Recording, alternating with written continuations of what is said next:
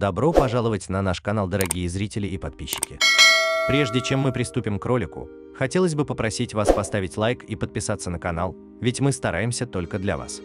Спасибо, приятного просмотра.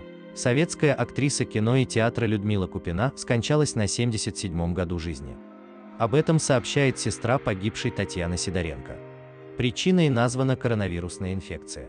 При этом Сидоренко отметила в беседе с изданием, что смерть сестры была неожиданной и скоропостижной. Последние годы она жила на две страны – в Болгарии и в России. Была абсолютно здорова, рассказала Татьяна. Купина почувствовала себя плохо в конце прошлого месяца. Ее госпитализировали и уже в больнице выявили коронавирус. После чего состояние женщины начало резко ухудшаться. Через неделю ее перевели в реанимацию. Поражение легких сначала составляло 20%, потом 76%. Утром 9 октября Людмила Купчина скончалась.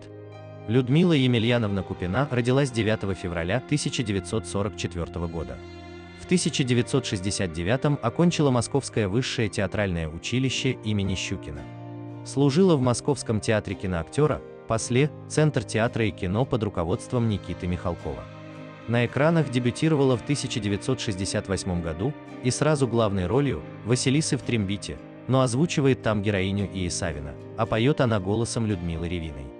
Далее Катя из Светлой речки Вздвиженки, Мария, секретарь Полипова, в Вечном Зове и других. Дорогие зрители, напишите свое мнение об этом в комментарии. Ставьте лайк и подписывайтесь на канал, ведь ваша активность помогает нам выпускать больше видео. Спасибо за просмотр, еще увидимся.